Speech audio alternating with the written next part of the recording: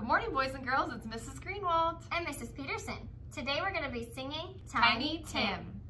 Make your turtles.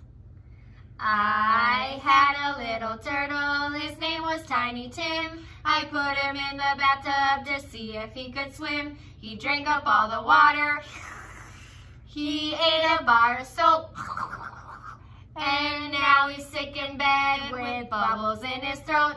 Bubble, bubble, bubble, bubble, bubble, bubble, bubble, bubble, bubble, bubble, bubble,